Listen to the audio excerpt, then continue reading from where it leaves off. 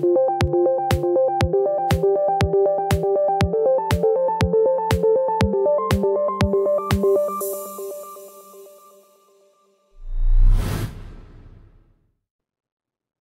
again everyone, and welcome back to Learn Linux TV.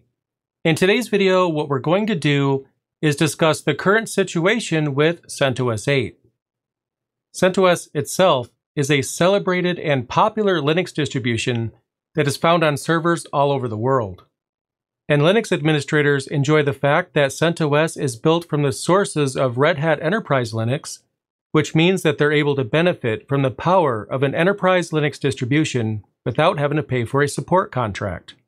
At least that's how it's been until now, because recent news from CentOS is that they're going to be focusing on Stream and ending support for CentOS 8 a lot sooner than originally planned. In fact, CentOS 8 was supposed to have 10 years of support, but unfortunately, support is ending in just two months. And this situation has caused CTOs and administrators a lot of stress because many of them are trying to figure out at the last minute which distribution to migrate all of their servers over to. And some enterprises out there, as you probably already know, have thousands, maybe even tens of thousands of servers or more. So switching from one distribution to another is no easy task. So what I'm going to do in this video is go over some of the options that you have at your disposal for fixing this situation, and I'll give you the pros and cons of each. But before we get into that, I'm going to give you a brief history lesson about what has actually happened so far with CentOS, and then we'll go over the options. Like I mentioned earlier, CentOS is a Linux distribution that's been an industry favorite for quite a while now. And I can definitely understand why. As a distribution that's focused on the enterprise, it's rock solid. Why is it so rock solid? Well, up until now, CentOS has been built from the sources of Red Hat Enterprise Linux, or RHEL for short, so all of the proven stability of Red Hat Enterprise Linux has made its way into CentOS in every release. In fact, even companies that do purchase Red Hat subscriptions often use CentOS as a testing ground on which to build solutions that they eventually plan to move to RHEL. This is why sometimes you'd see CentOS in development environments and RHEL in production. CentOS 8 was launched originally in September of 2019, and it was yet another great release for the distribution. At the time of release, it was planned to be supported all the way to May of 2029. And in that sense, it was seen by many companies as a distribution they could deploy on their servers and benefit from regular patching for 10 years. Or so we thought. Also in 2019, a new version of CentOS was released and that version was intended to be an alternative version of CentOS that was built with a rolling model. A rolling distribution is one that continually receives updates and evolves over time. The intent for CentOS Stream was to give everyone a preview of what's to come in RHEL, so that way developers and administrators can start testing out the next generation of Linux technologies today. But in December of 2021, Red Hat and CentOS revealed that they were pulling the plug on CentOS 8 and instead focus on CentOS Stream. As a part of this decision, it was also announced that eight years was being removed from the previously promised support period for CentOS 8. So instead of support ending in May of 2029, CentOS 8 instead reaches end of life at the end of December 2021. Now, one thing that's really ironic about this situation is that this news only applies to CentOS 8. CentOS 7 will still be supported. Now, normally I tell everyone to not wait to upgrade their operating system to a newer and more supported version, but this is one of those rare times where procrastination might have paid off because, well, if you're running CentOS 7, definitely don't move to CentOS 8 because you'll still have support with CentOS 7 for some time to come. Needless to say, the news sent quite a few administrators and CTOs in a frenzy to figure out what to do at the last minute. Migrating to a new operating system is not a quick task for most companies, so this situation put quite a few people in a very stressful situation. So we're aware now that CentOS 8 is reaching end of life at the end of December of 2021, but what exactly does that mean? Does that mean that every installation of CentOS 8 in your company is going to stop working? Well, no, at least not right away. In all fairness, if you had a CentOS 8 server that was not even connected to the internet at all, then technically it'll keep running for however long the hardware is good for. But being without support from the vendor on a distribution, that's a huge problem. As new vulnerabilities are discovered, patches will not be made available to CentOS 8 after December 31st. And this means that your company will be increasingly vulnerable to CVEs the longer they wait to migrate. So, what should companies do? Now, when it comes to CentOS Stream, there's nothing wrong with it. It's a fine distribution. So, on a technical level, maybe it's something that you should consider checking out. But there's two problems with Stream, though, that I need to address, and the first of which is what I've mentioned about the support period. I mean, that support period ending in less than 10 years, way less than 10 years, because, you know, they promised 10 years. They should have given us 10 years. And the fact that they pulled the plug on support early has sent a lot of IT administrators and CTOs into a frenzy to try to figure out what to do at the last minute. And that also harms trust. I mean, if they're going to pull the plug on CentOS 8, are they eventually going to pull the plug on CentOS Stream? What if you move to CentOS Stream right now and then find out later on that you have to switch yet again? And the other problem with CentOS Stream, or at least when it comes to adoption, is that not everyone wants to move to a rolling distribution. I think the concept of a rolling distribution is fine, but some enterprises either don't want to move to that, or maybe they're not ready to move to that. So those are the current issues when it comes to CentOS Stream, I don't really feel like anybody hated CentOS Stream when it was announced. It's just that what they took away from us is what's made a lot of people very frustrated. So, what do you do about it?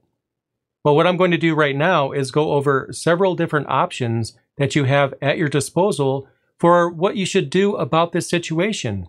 Should you migrate all of your servers to a different distribution? Well, yeah, you have to. Even if you move to CentOS Stream, that's technically a different distribution. But there's different scenarios here, and I'm going to go over several of them right now to give you guys a better understanding about what options you have at your disposal. So the first option probably goes without saying, but the first thing that you could consider is actually moving to CentOS Stream. Like I mentioned earlier, there's nothing wrong with it. Technically, it's a fine distribution and probably something you should check out. But the issue here is that when it comes to moving to CentOS Stream, that requires the most work, which is why I'm getting this out of the way first, because I know a lot of you out there are probably not wanting to move to CentOS Stream, or you're probably watching this video because you want to know what the other options are. But the thing is, when it comes to CentOS Stream, it's a completely different distribution. Actually, there's other distributions that I'm going to be going over in this video that are also different distributions, but CentOS Stream is a different distribution in every sense of the word. It doesn't even have the same goal that CentOS has had in the past. So when it comes to migrating to CentOS Stream, you'll find yourself doing more testing and more work, but if it's something that you want to do, then it is a path forward that you could consider. Anyway, I figured that I'd get CentOS Stream out of the way first. I mean, like I said, it is a viable option, it is a viable way forward, but it's going to be more work. But what are the other options that you could consider? Well, the second option that you could consider is migrating to Alma Linux OS. Alma Linux OS is a community-driven replacement for CentOS. Unlike CentOS Stream, Alma Linux is built from Red Hat sources, which means it's actually a drop-in replacement for CentOS 8.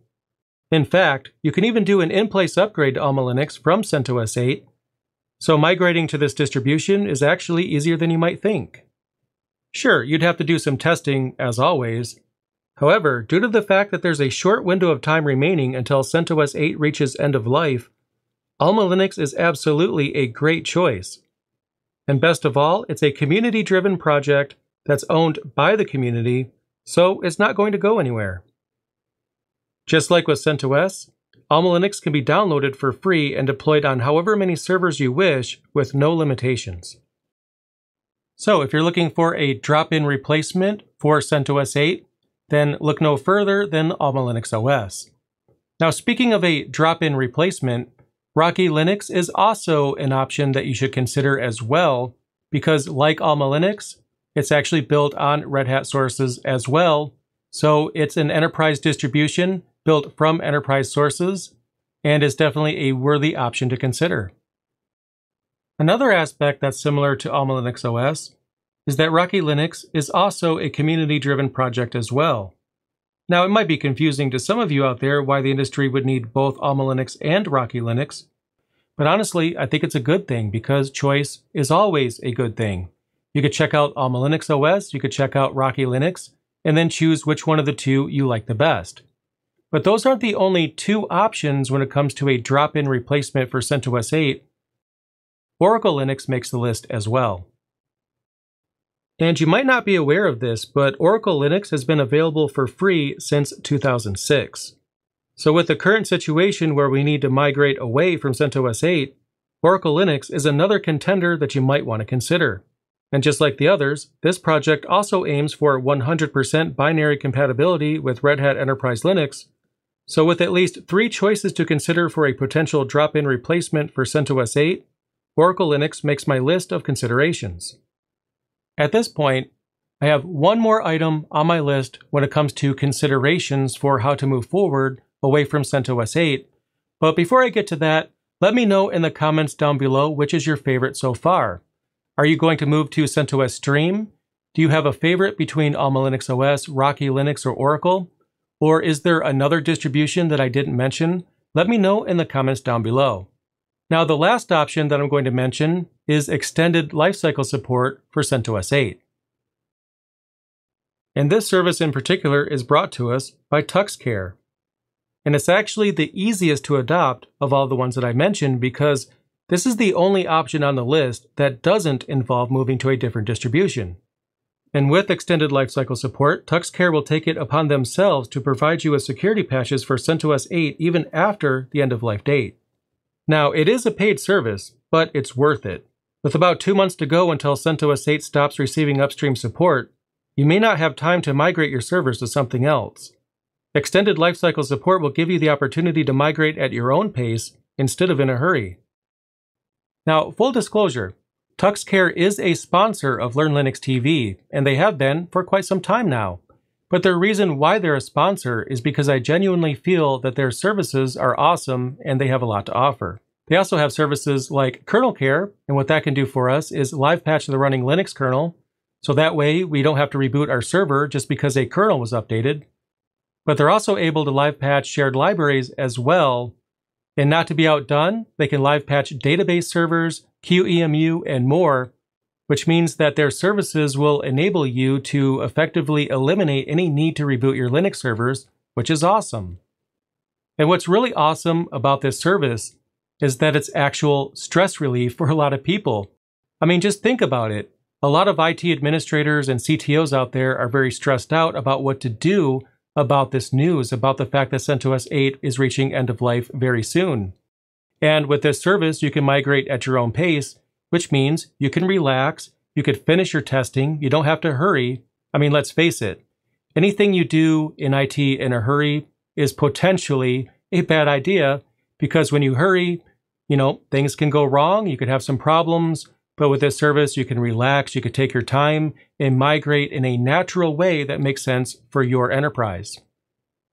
If you want to check out extended lifecycle support for yourself, I'm going to put a link in the description below this video, and you could click that link to find out more about the service. With all of that said, those were my recommended approaches for how to move forward in wake of the news about CentOS 8. What's your favorite? Are you going to use a drop-in replacement for CentOS 8? Are you going to move to CentOS Stream? Or are you going in a completely different direction altogether? Let me know in the comments down below this video. I look forward to hearing what you guys have to say. Definitely click that like button if you like this video, and consider sharing it with your friends, family, colleagues, pets if they use computers. I don't judge. Share it with anyone that might find this information helpful. I'd really appreciate that, and I'll see you again next time. Thanks for watching.